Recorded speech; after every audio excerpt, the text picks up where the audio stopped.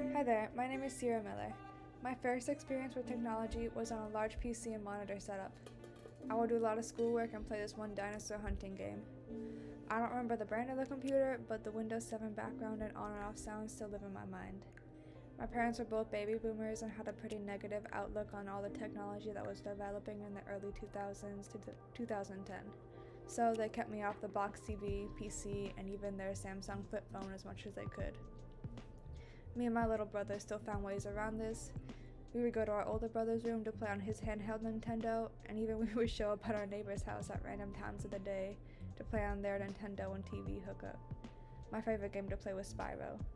Eventually, my brother and I convinced our parents to get us a Wii, including all the instruments for Rock Band.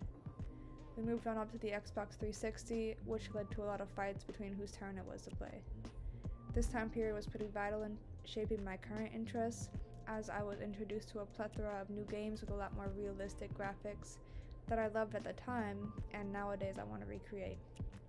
One of my goals is to recreate the assassination animation in Halo Reach in my own characters, since it was one of the game modes that I would play the most with all the kids on that I met online.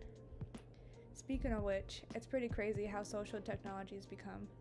We went from strictly emails and phone calls to now just having a whole community on practically every piece of technology and object around.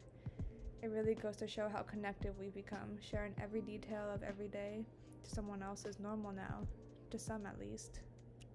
Anyways, I grew out of the everyday gaming lifestyle in my high school as I got busier in life with work and school. But to this day, I still have my Xbox One and a few games on my laptop. Technology has become a lot more accessible in my life since my first experiences with it, and I wish to continue immersing myself in it.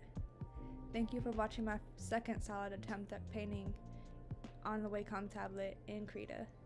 I had a lot of fun with the colors, and as you can see, I made a few changes in the final piece. I want to continue working on it. Thank you. Bye.